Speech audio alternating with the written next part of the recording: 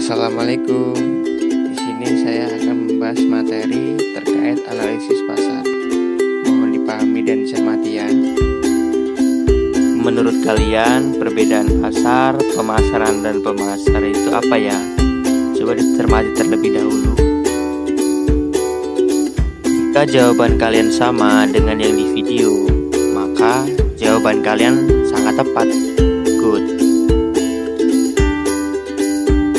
Berikut adalah definisi dari pemasaran. Kalau tadi itu adalah pasar, maka di sini jelas perbedaannya. Dari penjelasan singkat barusan, mungkin kalian bisa membayangkan bagaimana perbedaan pasar, pemasaran dan pemasar. Di sini pentingnya juga kalian memahami evolusi terjadinya pasar. Silahkan kalian baca terlebih dahulu. Selain evolusi, kalian juga harus memahami klasifikasi pasar, antara lain pasar tradisional dan pasar modern. Oke, ini adalah perbedaan antara pasar tradisional dengan pasar modern.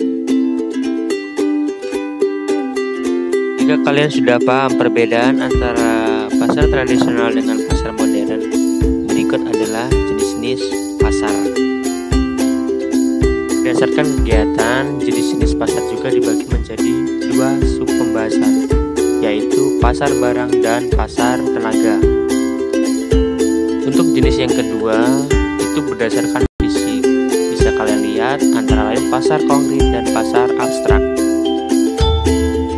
Berdasarkan waktu juga, jenis-jenis pasar sangatlah penting.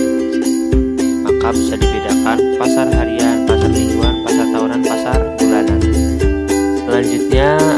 pasar berdasarkan barang yang diperjualbelikan. Berdasarkan luas kegiatan, jenis pasar dibagi menjadi empat jenis. Jenis yang terakhir adalah berdasarkan bentuk atau organisasi pasar. Saya rasa kalian juga sudah paham terkait jenis-jenis pasar. Kemudian, apa fungsi pasar? Ada yang tahu nggak? Selain fungsi pasar, Peran pasar juga sangat penting bagi produsen, konsumen, juga pemerintah. Demikian pembahasan kita terkait dengan analisis pasar.